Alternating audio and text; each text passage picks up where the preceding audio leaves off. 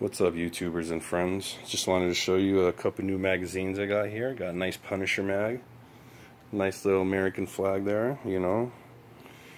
Every single magazine filled with 62 grain green tip ammunition. You're gonna do it, you might as well do it right.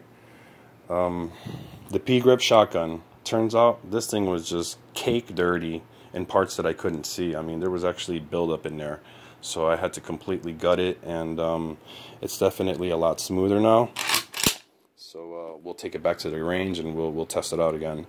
Um, remember have at least six magazines per AR that you have you know because you do fly through ammunition on these. Um, thank you guys for watching the video and the update. Um, have a blessed day and be safe guys